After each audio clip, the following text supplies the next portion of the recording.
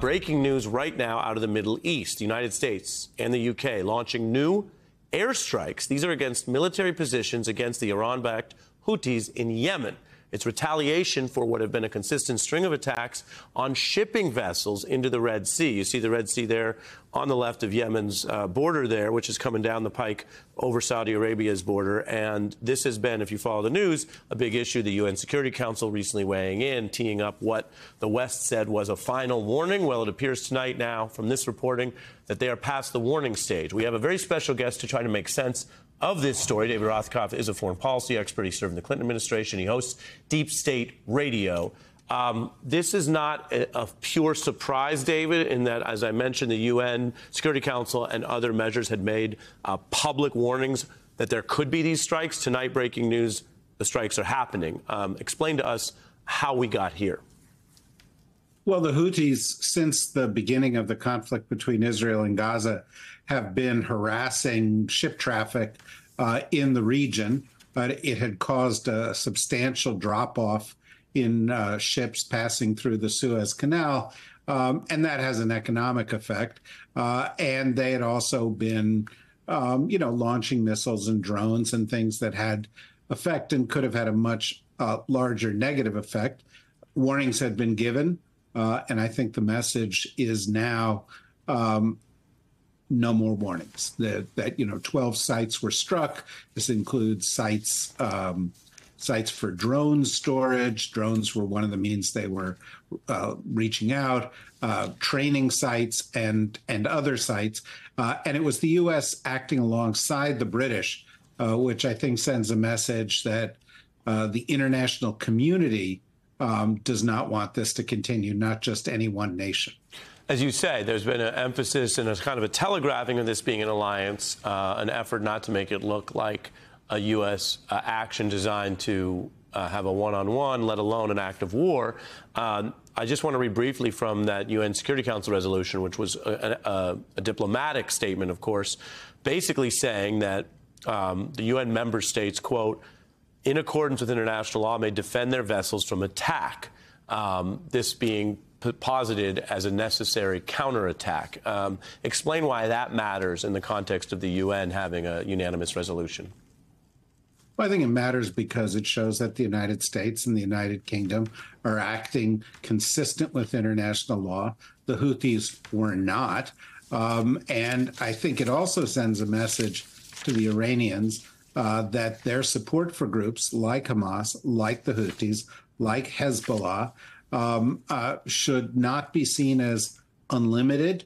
Uh, we are not uh, intimidated by that to the point that we will not respond, even though we do not want this to escalate. Um, but that last point, we don't want it to escalate, so we're going to handle it um, in a measured, responsible, consistent with mm-hmm. international law fashion. I think is especially important. I mean, that, you make that point. I want to read from some of the, the reporting on this in the international section of Wall Street Journal, which really overlaps with, with what you raise. And you don't need to be a East expert to look up and see Western strikes on Yemen, the links to Iran, and think about the wider conflict and tension in the region. Um, the journal reports basically the Biden administration, until tonight, had actually been reluctant um, to issue this kind of military response to what they see as these repeated attacks, saying, quote, they didn't want to, quote, trigger a war in the region, um, aware of the group's backing from Tehran. Um, and yet now they count at least 27 attacks by the Houthi group. So another way of saying that is 27 attacks that until tonight had gone unanswered. Um, if someone's watching David and they're looking at this and saying, okay, does that mean the risk of a regional conflict that spills out even beyond Israel Hamas is higher? Um, a sustained involvement of other countries? Is that a greater risk tonight or too soon to tell?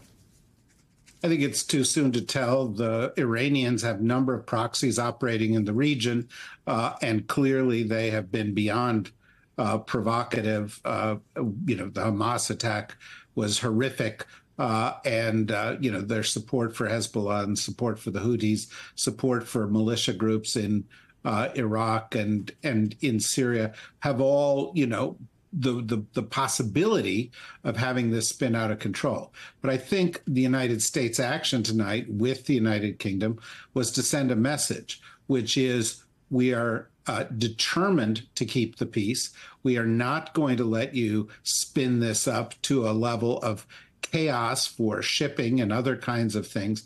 And I think ultimately this kind of measured, targeted, consistent with international law response is exactly the kind of thing that can keep this from escalating rather than uh, allowing provocations to continue unresponded to until something happens accidental that triggers something much broader. Understood. Uh, David, appreciate your reporting uh, and analysis on this issue. Uh, NBC's Gabe Gutierrez is reporting from the White House. Uh, what are you hearing from the administration on what was telegraphed but now is happening, these attacks on the Houthis in Yemen?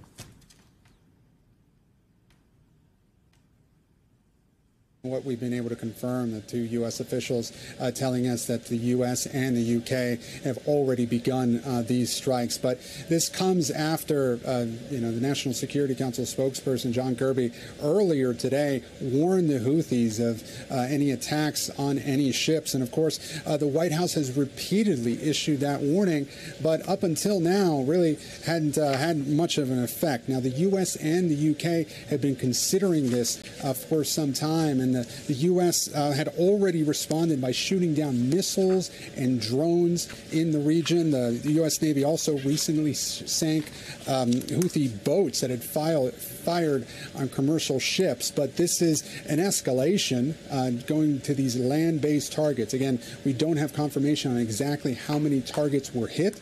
Uh, we expect to learn more from that in just a short time uh, from the White House. But again, no confirmation yet, official confirmation from the National Security Council. But the breaking news, Ari, as you've been reporting, that those two, uh, two U.S. Uh, officials do confirm that these strikes are underway inside Yemen. And Gabe, in the minute we have left, uh, should we expect to hear more from U.S. officials or even the president tonight?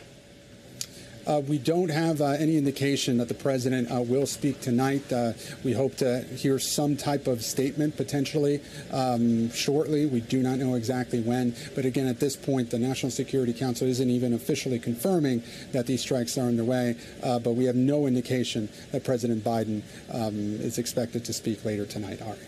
Gabe Gutierrez reporting from the White House. Thank you uh, on, a, on a busy night there. David, when you take it all together, uh, what would be the next steps if, if this was effective in the eyes of the West?